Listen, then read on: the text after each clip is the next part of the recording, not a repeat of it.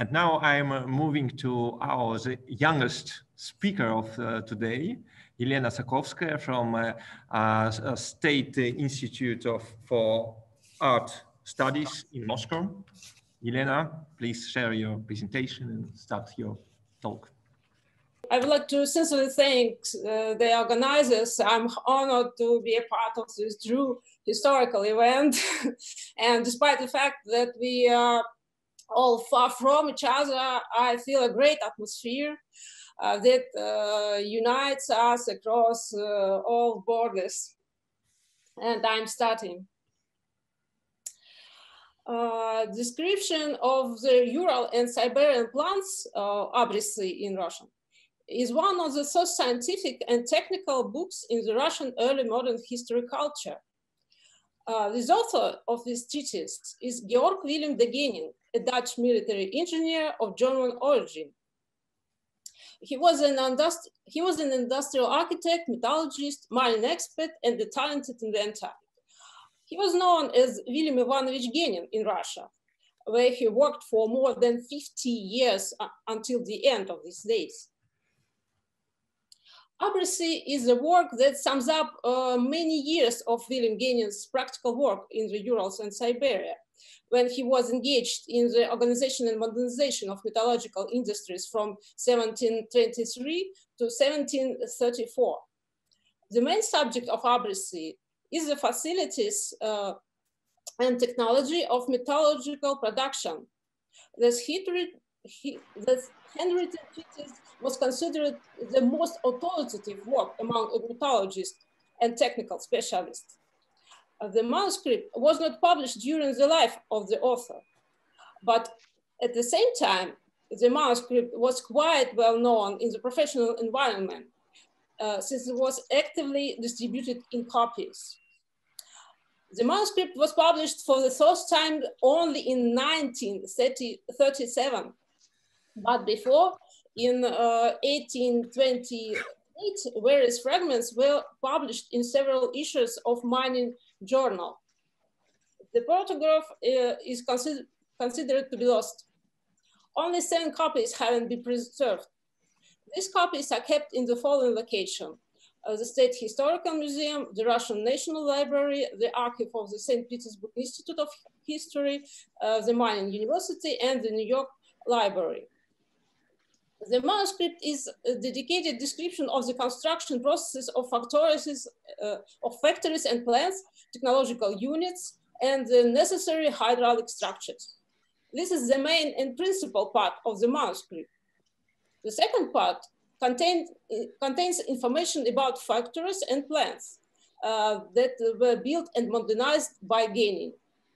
The text is uh, accompanied uh, by unique illustrations uh, that make up almost half the volume of the entire book. Uh, despite the technical content of the treatise, its illustrative material is very diverse. Uh, it is represented by architectural and technical graphics, uh, geographical maps, surveying drawings, uh, the manuscript also contains panoramic images of the city's factories, uh, as well uh, as the images of the workshop interiors, landscapes, and archaeological and ethnographic sketches. Such uh, multidimensionality uh, of the graphic part of the manuscript evokes a lively research interest. Uh, the illustration of Abrisi attracted attention of not only researchers of the history of engineering and industry, but also art historians and historians of industrial architecture. The researchers noted their uniqueness and special artistic value because these images are among the first known examples of Russian technical illustrations of early modern history. It is known that a group of performers led by Genin worked on the illustrations. In fact, uh, the technical level uh, of the illustrations differs markedly. Uh, for this reason, uh, the problem of authorship of manuscript illustrations has been raised repeatedly. Uh, that is why the authorship of Abrisi is usually attributed to Genin conditionally. Uh, however, the fact of the collective performance of illustrations uh, does not mean that Genin did not have anything to do with them. Um, the fact of the existence of several copies, as well as the lack of the protograph, aggravate the position that uh, with the uh, attribution of the illustrations of Abrisi. However, by comparing all remaining copies, it becomes obvious uh, that the illustrations are made from a single source.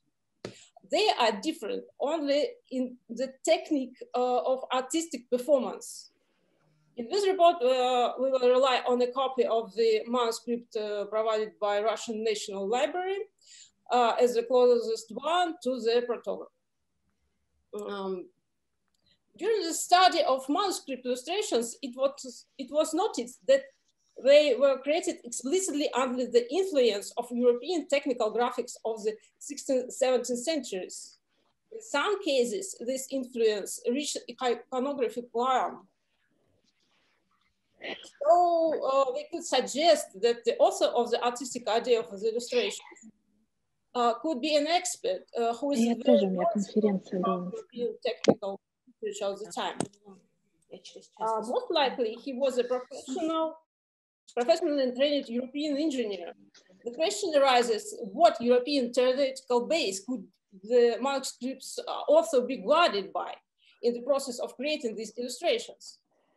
At the moment, uh, no attempt have been made to put Abrisi in the context of the history of European technical illustration. Uh, all uh, that the researchers uh, have done in this direction uh, were limited by comparisons with treatises uh, De Re Metallica by Agricola and Aula Subterranea by Lazarus Ercker. Uh, the analogs, uh, this, these works are clear. They contain illustrations, this scene of mining and metalworking. Uh, moreover, uh, they were widely known among European engineers, metallurgists, etc., specialists of the 16th, 17th centuries. Uh, the illustrations uh, from Abrisi differ from them in composition, uh, but they are very similar in plot. Uh, the attention of researchers had been attacked, attracted to plans and perspective use of cities factories. It was noted uh, that they were created according to all the rules of European cartography of the time. Uh, nevertheless, the graphic material of the manuscript did not draw enough attention for of researchers, and now fundamental research of the manuscript illustrations had been conducted. Uh, and this report, uh, this report proposes to fill this gap uh, by comparing the Abrisi of Genin with European technical graphics of 16th, 17th centuries. Uh, this will make to pos this um, will make it possible to find parallels with a certain set of theoretical works to which he could refer to. Illustrated treatises of 16th, 17th centuries were selected as sources for comparison.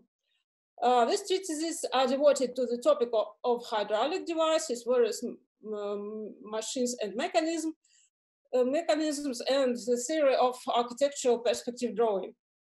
Uh, the results of the study will allow to approach the solution of the illustration authorship problems of Abrisi, uh, as well as to represent Genin as the author of the visual conception.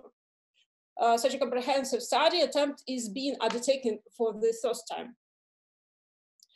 Uh, let us uh, turn to illustrations. Uh, they are interested in images dedicated to industrial subjects.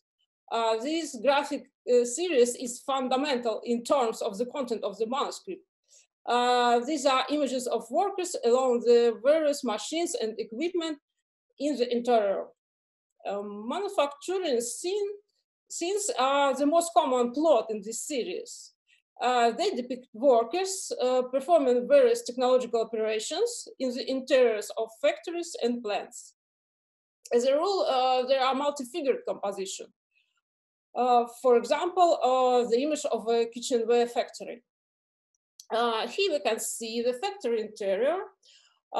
this is a vaulted ceiling uh, the paired window uh, are shown on the side uh, exterior walls. Uh, the interior is divided into three rooms by walls. Each room has uh, a separate manufacturing scene. Uh, the interior space is made with a perspective intersection of fault lines at one point. The method uh, that is used in the composition uh, creates the impression as if there are no walls. Uh, so it allows you to cover the entire interior with your gaze. With this technique, all parts of the composition are combined into one multi-figure scene. Uh, the artistic conception of image of the kitchenware factory resembles the illustration from the title page of the thesis of Hieronymus Rodler, dedicated to the construction of perspective. Both mentioned images have identical perspective construction, both are multi-figured. Uh, there is a furnace on the beginning uh, illustrations, illustration on the left side of the composition. In turn, on the Rodler's title page, uh, we also see a furnace on the left and the paired windows on the exterior walls are depicted. Uh, the title page uh, of Rodler has a vertical format. the illustration of Genin is horizontal.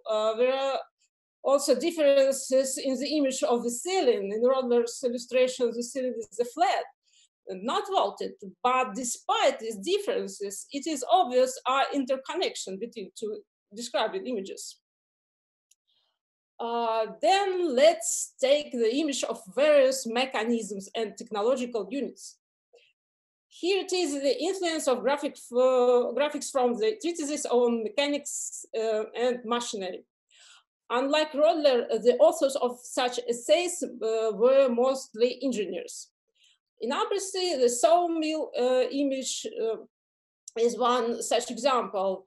Uh, similar images can be found in the treatise of Solomon de Caus.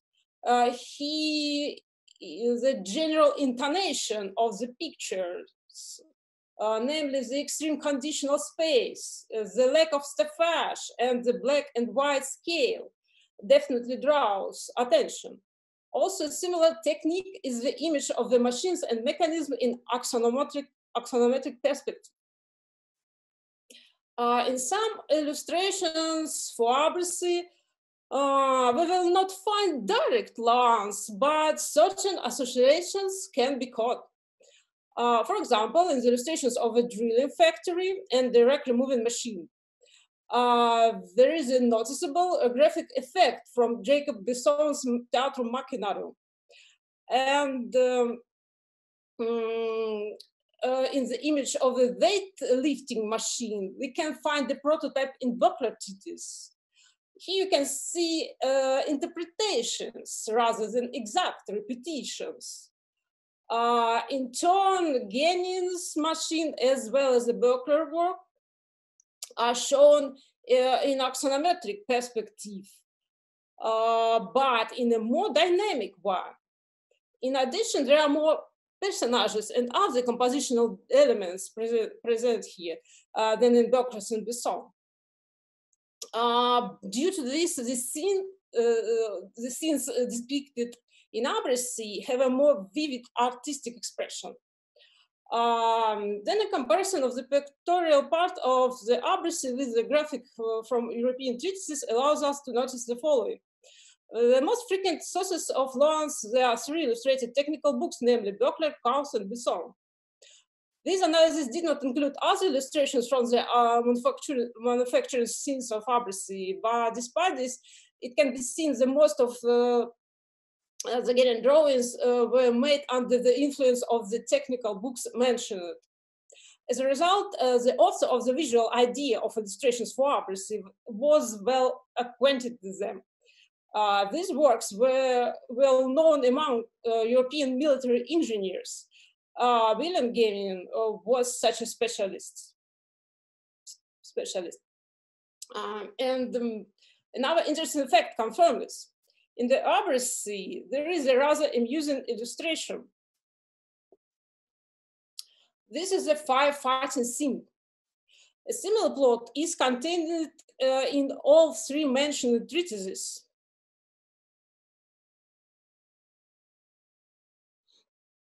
Uh, development and creation of fine genes uh, was part of the duties of specialists who were somehow connected with the production sphere. Uh, there was a similar machine by created uh, by Genin. Uh, he also wrote about it in Abrisi, accompanied by description and graphic drawing. Let's pay attention to the main character of the scene of extinguishing the fire.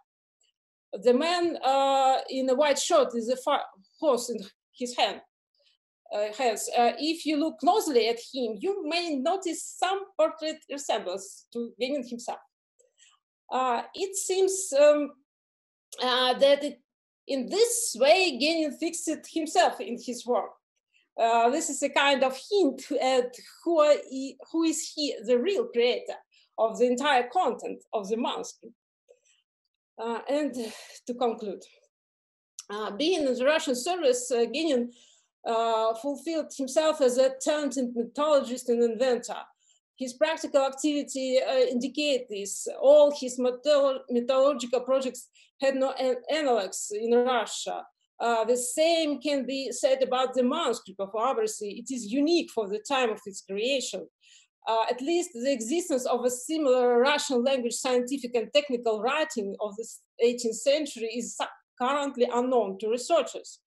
Uh, creating Abrisi again relied not only on his own practical experience uh, in the organization of industrial complexes in Russia, but also on the theoretical knowledge acquired by him in Europe during the years of his development as an engineer.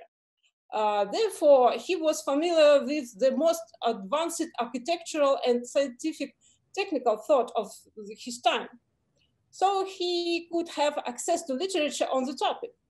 Most likely, he simply showed uh, these works as a model for performers of Faber's illustrations.